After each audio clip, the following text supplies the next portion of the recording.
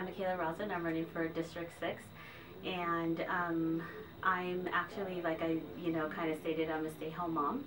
Was a stay-home mom, and from there went into um, working within our communities deeply in our PTAs, in our schools, in our system, and nonprofit organizations, and from there, um, I moved on to, um, you know, becoming a career mom and um, going into my career and working as a private um, consultant in different areas from state to local level and legislative, working on initiatives and bills with our with our Congress, with our um, representatives, and with our senators, um, basically around education.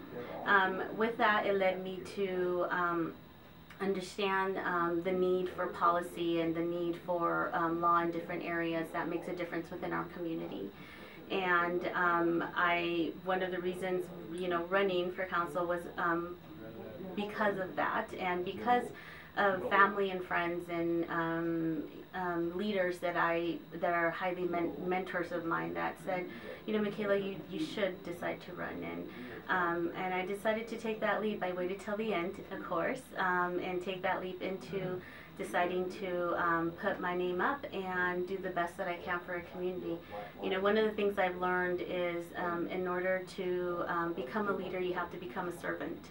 And within my practices of what I've done, I've always put that forth is becoming a servant, is becoming a listener.